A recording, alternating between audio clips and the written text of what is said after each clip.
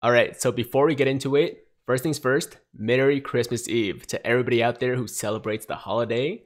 We are officially less than one day away from Christmas, and I'm super, super excited about it. This year, I got some really nice presents for everybody. You know, my brother, my parents, my girlfriend, my grandma, my dog, so on and so forth, and I can't wait to see their reactions it's going to be awesome. So that's the first thing. Number two, the official Dokkan Twitter page recently posted the animations as well as the details for the upcoming Prime Battle LR, Babidi and Buu, and of course, the Dual Dokkan Fest Janemba and Pikkon. So in today's video, we're going to start by doing a live reaction to all the animations, see what they look like, and then pop over to the Twitter page of the homie Goresh for their English translated details. Okay, of course, a huge shout out and thank you to the homie Goresh for all of his hard work.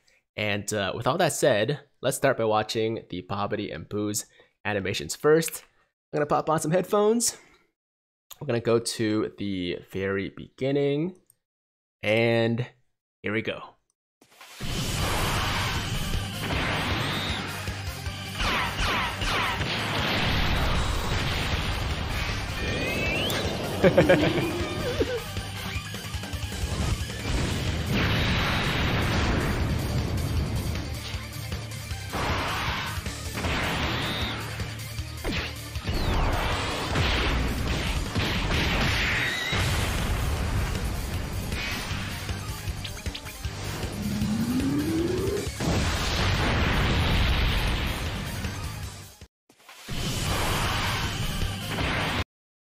I love it.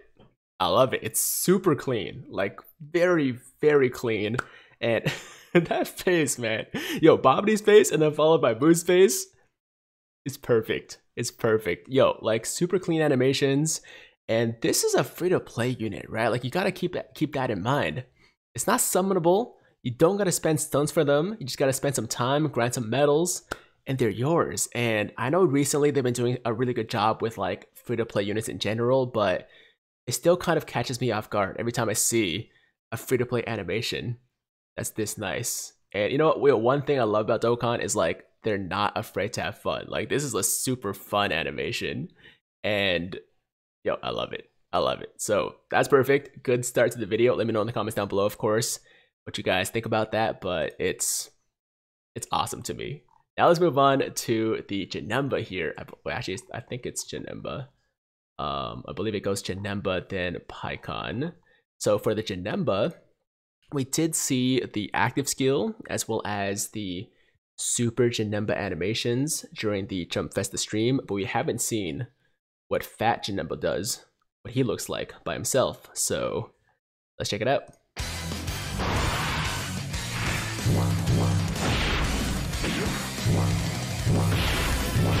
Yo!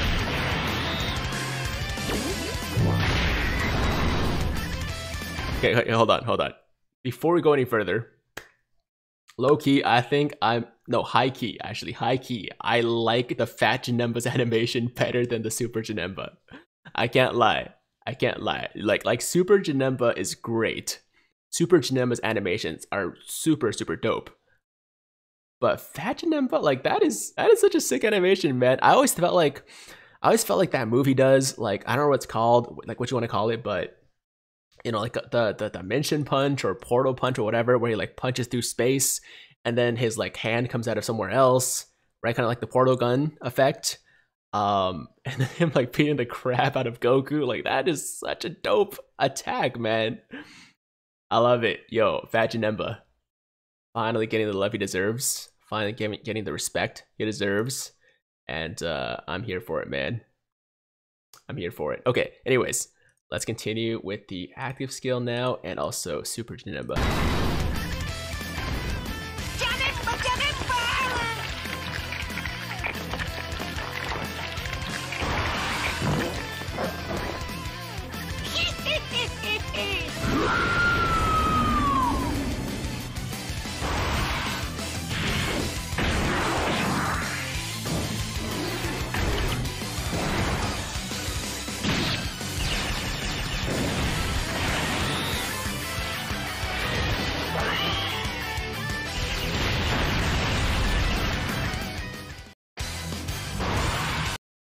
Yeah, overall, awesome animations, but Fat Janemba for me is the best one.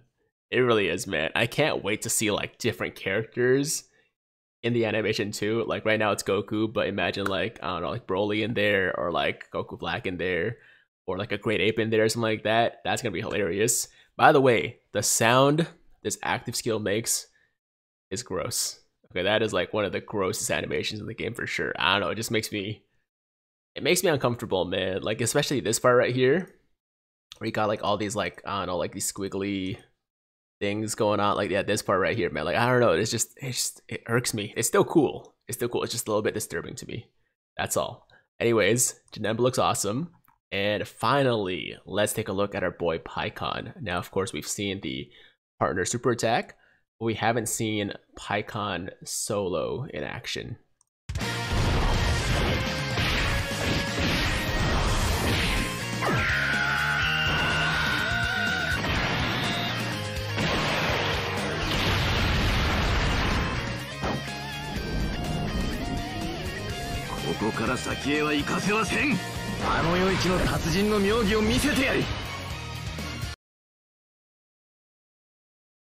Hold on.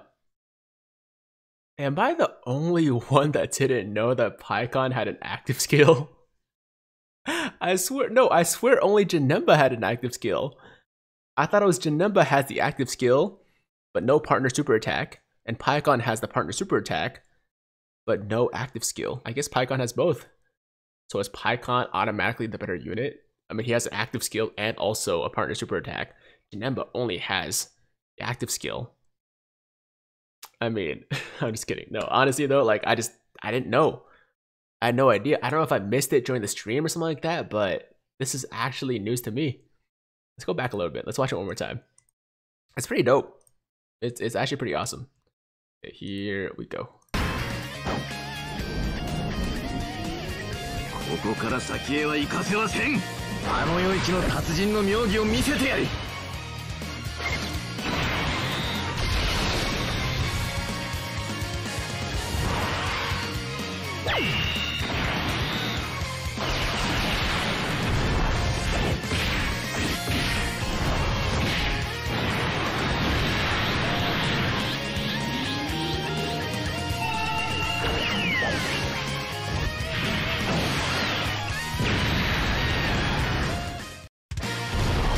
Okay, so needless to say, like obviously I love the partner super attack, right? Like it's it's Gogeta, you got the Goku and Vegeta in the background fusing, and then you know the Soul Punisher and Pikkon does his attack. It's great.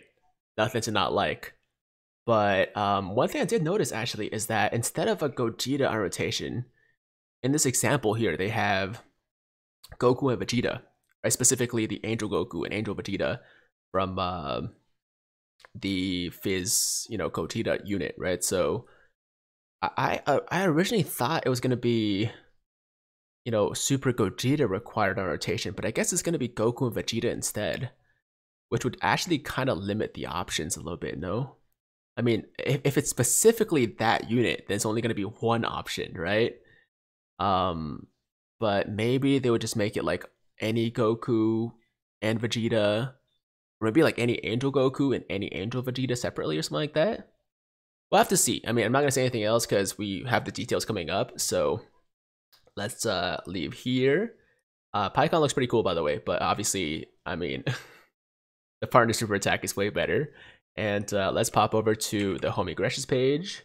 Uh, shout out to him once again. Here's the uh, detail for the Babidi and Buu. Let me actually just remove my face cam here so you guys can see the entire screen. Okay, so we got LR Babidi and Buu, uh, Fizz type LR, uh, leader skill is Majin Buu Saga category Ki plus 4, HP attack and defense plus 130%, super attack 12 Ki causes colossal damage with a medium chance to seal super attacks and a medium chance to stun, and then the 18 Ki causes mega colossal damage with a medium chance to seal super attacks and medium chance to stun. So it seems like they uh, both have the exact same effect, except for the fact that the 18 Ki, of course, is Mega Colossal Damage. And passive is Ki plus 3, Attack and Defense plus 40,000, and an additional Ki plus 3 and Attack and Defense plus 30,000 if attacking an enemy who is in attack down, defense down, stunned, or sealed status, and performs an additional attack has a medium chance to become a super attack, recovers 5% HP at the end of the turn in which attack is received. Wow. Wow, that is a huge boost, man. Ki plus 6 and attack and defense plus 70,000. I mean, even, even if it's a flat boost, that's a huge flat boost. Like, these guys are going to be hitting pretty damn hard, especially because they have the medium chance to additional super. Wow. Okay, so uh, they also heal too. 5% healing after taking an attack. And, um, you know, it's a great thing that they can also proc their own um, additional boost, right? So they can seal and they can stun. Uh, I think medium chance is around 25 to 30%. So, damn. That's that's awesome. Uh, links are Master of Magic, Thirst for Conquest, Brutal Beatdown, Nightmare, Fear and Faith, Shatter the Limit, and Legendary Power. And categories are Majin Saga, Joined Forces, Terrifying Conquerors, and Inhuman Deeds. Awesome, awesome free-to-play LR right there. And now we have the Janemba. Okay, so starting with the Fat Janemba, leader skill is Mind and Body Erosion. Okay, so this is a new category for sure. Mind and Body Erosion. Interesting name. Ki plus 3, HP attack and defense plus 170%, or Extreme Class Ki plus 3, HP attack and defense plus 130%. So just one category, but I like this uh, 130% Extreme leader skill. That's for all Extreme types, so you can build some very versatile teams with this Janemba, even if this category is, you know, very limited. Um, obviously, because you can add any Extreme Class unit on your team, um, that's a great leader skill right there. His super attack raises defense for one turn and causes immense damage. And passive is attack and defense plus 120%, guard activated against all attacks. Wow. So he's automatically going to be a very good defensive unit. Uh, extreme class allies Ki plus 2, attack and defense plus 30% if 4 or more type Ki spheres are obtained. So basically not counting rainbow Ki spheres, 4 or more Ki spheres, and you get Ki plus 2 and attack and defense plus 30% for all extreme types, and then damage reduced by 30% if 2 or more Rainbow Ki Spheres are obtained. And then you have the active skill transformation, which can be activated once 5 attacks have been received once only. And his links are the Innocence, More Than Meets the Eye, Metamorphosis, Master of Magic, Nightmare, Big Bad Bosses, and Fierce Battle. And categories are Mind and Body Erosion, Movie Bosses, and Transformation Boost. And uh, once you transform into Super Janemba, his super attack raises attack and defense for one turn and causes immense damage. And passive is attack and defense plus 180%. Randomly changes one type of Ki Sphere into either one other type of Ki Sphere or Rainbow, and gains an additional attack plus 40% when collecting three or more type Ki Spheres. High chance to evade enemy attacks when collecting a Rainbow Ki Sphere. So it looks like as long as you collect even one Rainbow Ki Sphere, then he gets a high chance to dodge, which is pretty nice. But at the same time, you can't get the additional attack boost then, because you only get that when you're collecting type Ki spheres. So, interesting. It looks like they make you choose between two different effects, and I guess you would, you know, go with either one depending on the situation. So like if you need to be a little bit more defensive, then you would, you know, try to get Rainbow Ki spheres. If you you know, want to go a little bit more offensive, then you go for the type Ki spheres. And in terms of his links, the Innocent, More Than Meets the Eye, Master of Magic become Shocking Speed, Brutal Beatdown, and Fear and Faith. So that is Janemba. Overall, looking really, really good to me. Yeah, he looks like he's going to be a very strong unit, both offensively and defensively. And um, I always like units that have a good balance between the two. And we also kind of have a new mechanic going on here, you know, like where we have to choose between two different effects depending on the type of Ki sphere we get, like whether it's rainbow or type Ki spheres. I mean, it's a little bit similar to the uh, Fizz LR Broly trio, not exactly the same, but kind of reminds me of that. And um, it's definitely interesting. It's definitely interesting. I mean, of course, I would have preferred to just like get all of these effects at once, but um, I guess they thought this was a little bit more balanced. Anyways, let's move on to the Pikkon here. Uh, leader skill is Connected Aspirations. Obviously, another new category, Ki plus 3, HP attack and defense plus 170%, or super class Ki plus 3, HP attack and defense plus 130%. Super attack greatly raises attack for one turn, and causes immense damage and greatly lowers attack. And his unit super attack, or partner super attack with Gogeta, is called the Otherworld Master, and the Fused Warrior greatly raises attack for one turn, causes immense damage, effective against all. It says attacks here, I'm pretty sure he means types, and greatly lowers attack. And the condition is it can be activated if there is a character whose name includes or contains Goku Angel or Vegeta Angel attacking in the same turn. Interesting. Okay, so you just need one of them. It's not specifically like, you know, LR, Goku, and Vegeta or anything like that. As long as you have one of these characters or one of these names included in the unit, then you should be good to go. Awesome. Moving on to his passive, it's attack and defense plus 150%, super class allies Ki plus 2, and attack and defense plus 30% when collecting 3 or more type Ki spheres, gains an additional Ki plus 4, and high chance to evade enemy attacks and seal the attacked enemy super attack when collecting a rainbow Ki sphere. Damn, okay, so he's getting up to attack and defense plus 180% with the support, or you can get up to Ki plus 4, attack and defense plus 150%, but also a high chance to dodge, and also guaranteed seal with the Rainbow Ki Sphere. That looks really good. And then we have his active skill, which I didn't even know was going to be a thing. And the condition is able to be used after 4 turns from the start of battle when there is one enemy whose HP is 50% or higher, and the effect skips one targeted enemy's attacking turn. Okay, so basically it's like a free Ghost Usher, from what I can tell. I mean, I guess it would have been the same thing as just giving him guaranteed dodge that turn, but this is interesting, man. I mean, it's basically a brand new mechanic. There's no other unit in this game right now, no other active skill that has this exact effect. I like it. Uh, and his links are Supreme Warrior, Gentleman, Experienced Fighters, Shocking Speed, Cold Judgment, Otherworld Warriors, and Fierce Battle. And categories are Connected Aspirations, Movie Heroes, Worthy Rivals, Otherworld Warriors, Saviors, and Battle of Wits. Okay, so there is the Pikkon, and we went over the Janemba. And in terms of who I like better right now, honestly, I think I might like Pikkon a little bit more. I mean, I'm not sure if I'm biased just because, you know, there's the Gogeta, and I just really enjoy watching that animation.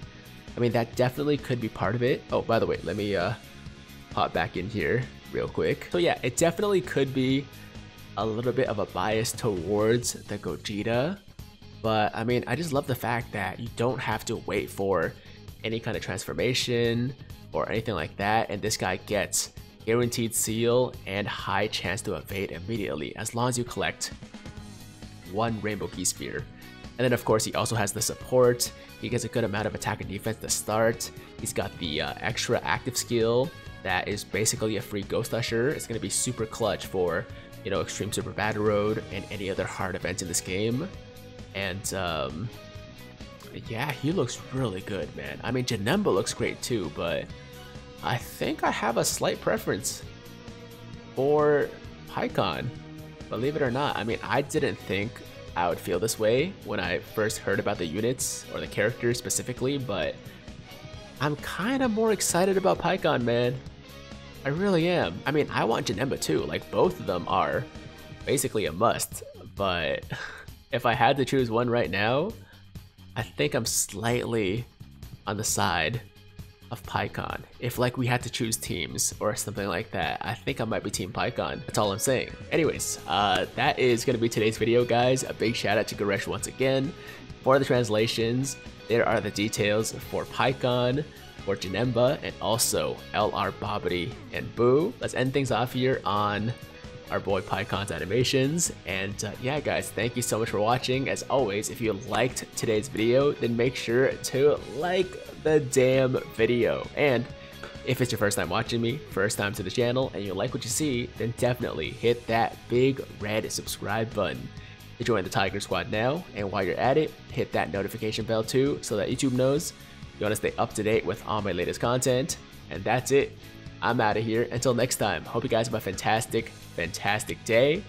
I'm Tiger with Tiger Uppercut Media, signing out.